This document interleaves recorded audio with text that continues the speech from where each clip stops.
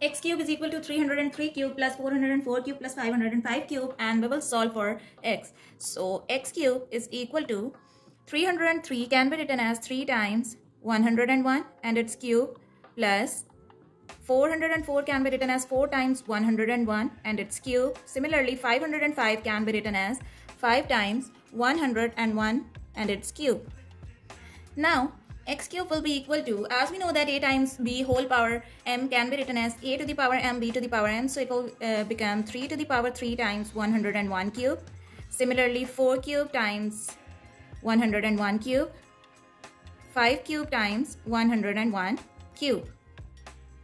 Okay. Now, in these three terms, we have 101 cube is common. So this divided by this will be 3 cube. Similarly, it will become 4 cube plus 5 cube. Now, x cube is equal to 101 cube. 3 cube is same as 27. 4 cube is same as 64. 5 cube is same as 125. And it will give us 27 plus 64 plus 125 will give us 216 times 101 cube is equal to x cube.